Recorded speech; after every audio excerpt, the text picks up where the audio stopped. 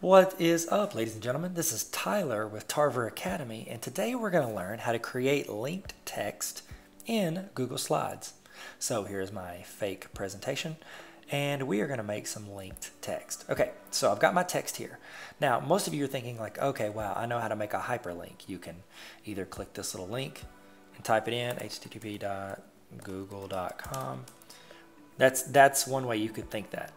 Now, I think what um, what they're going to want you to learn how to do is obviously that. So I guess I could teach you that too. So you can do this and click this little thing and type it in, or you can just um, select it and then put Command K or Control K, depending if you're a PC or a Mac user.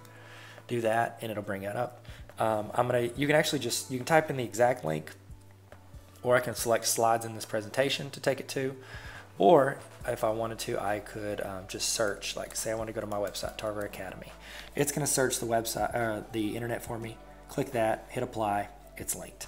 Now, what I also want to show you, which I think is the more, um, I guess, next level way to do it, is whenever you have the text selected, you see that blue part around the outside? If you right click on that, you can go to link, and then I can also link this to somewhere. So um, say I want to go to my website. So Tarver Academy, and let's say Google. Let's go to Google Training Resources.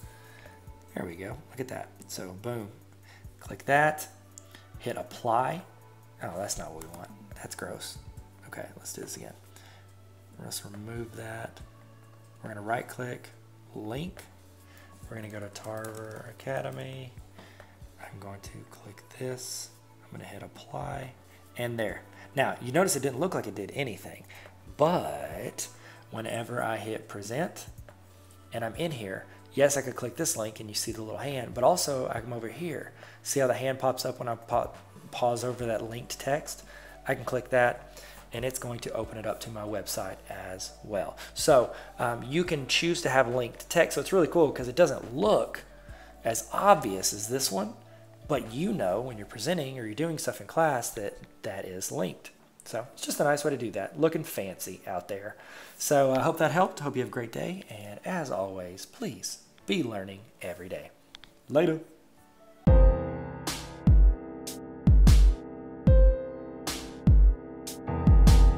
Hey, what's up? Thank you so much for watching my training video. If that helped at all, please subscribe to this channel. It's free, costs nothing. Just click the little red subscribe button unless they change the color. Hey, also, if you want me to come to your school and help train your teachers or your administrators or your students and help make your life easier with Google, just let me know. I've got links in the bio on how to get a hold of me. DM me at Tyler Tarver on Instagram or Twitter.